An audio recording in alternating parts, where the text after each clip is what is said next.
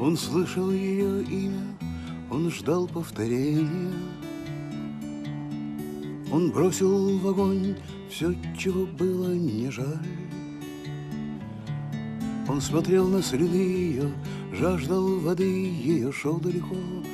В свете звезды ее, в пальцах его снег превращался в сталь.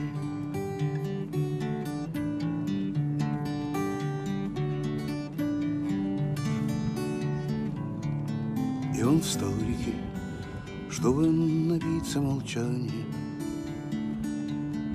Смыть себя все и снова остаться живым, Чтобы голос найти ее, в сумрак войти ее, странником стать, В долгом пути ее, в пальцах его Вода превращалась в дым.